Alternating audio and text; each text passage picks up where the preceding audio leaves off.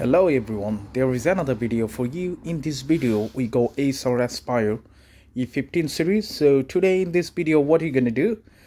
We're gonna activate the external boot system in here because as you know by default, most most of the laptop brand what they do they put um, external boot option disabled by default okay so we're gonna enable it due to reinstall the windows system or recover your windows system. So this is the recovery bootable disk and that is the bootable windows 10 pro disk okay?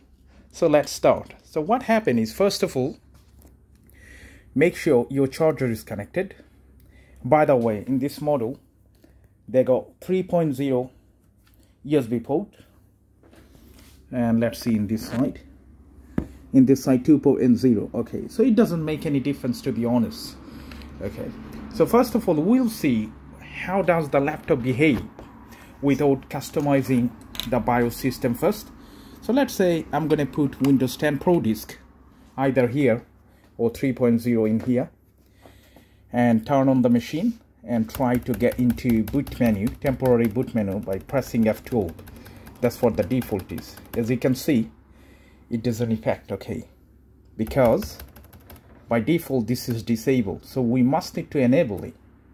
So turn it off again.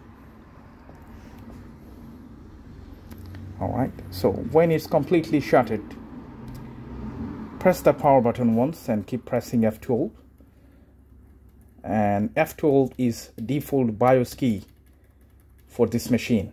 Here we go.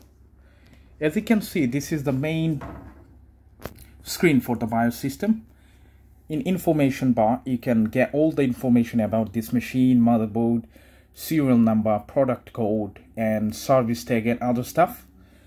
Now we're going to go to main and check. In the main section we're going to see definitely date and time and obviously F2 boot menu which is disabled. That's the reason at the beginning when you try to get into F2 boot menu option and we are pressing F12 it didn't work because this is de by default is disabled. So let's make it enable first. All right? There. Okay. So now that is not everything. That is not everything because why? I'm gonna show you. If you go to security let's say I made the F2 enable. So now if I save the changes and restart the machine and if I try to get into F2 still I'm not going to able to see this. System was UEFI not the legacy. There are two types of boot. One is UEFI another one is legacy. So with UEFI this is kind of secure boot. Okay so it prevents your machine to take external boot command this and that right?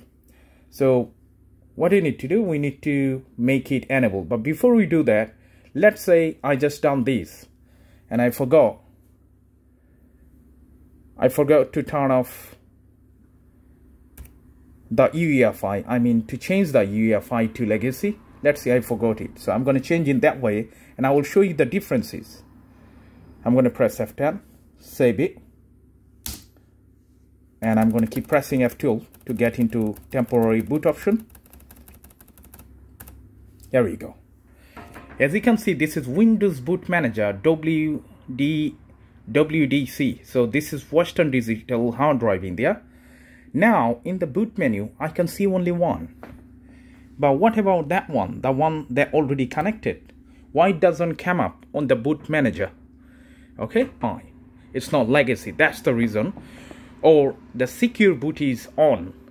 So we must need to disable the secure boot or we must need to change UEFI to legacy or maybe both boot mode. Okay. So to do that, turn off your machine again. It's completely shut down. Press the power button. F12 once again okay so now from here we're going to go to security we'll try to find if there is any secure boot mode. As you can see secure boot mode is standard. We must need to disable it but there is no option for Acer Aspire E15 series. So what are you going to do? We're going to go to boot option. Going there. Fine. And now as you can see this is UEFI is highlighted by white color. I'm going to press enter and I will go down to the legacy. And they are asking Microsoft recommends execute Windows 8 and other version under EFI boot mode to enjoy the full features. Okay that's fine. Let's say okay the available boot device will be changed until a reboot. That's fine also. All right so now it's done. So that's all done. Now if you would like you can uh, customize your boot option but I'm gonna save it how it is and again F12 now we're definitely gonna see in the list. Okay here we go. Now as you can see USB HDD USB HDD Kingston Data Traveler which is that one. I put a sticker on it. And there are other couple of more option example before. Even the DVD drive there is any DVD drive? Yes there is. Even DVD writable drive also optical drive was now on the list plus network you know network boot option which is Realtek. I mean network card. So all all of them are visible right now. There are two reasons. One the secure boot is off. Second thing the UEFI change into legacy. Now we can customize it. Now if you want to do recover your windows from the recovery bootable drive yes you can connect and hit enter and the follow the procedure if you want to freshly reinstall your windows 10 pro or whatever you want to do you can do that so in this case we're going to reinstall windows 10 pro on it so what I'm going to do, I'm going to go down and select it and hit enter. Once I do that, then the installation progress will begin. And we're going to see within second the Windows logo in here. Okay.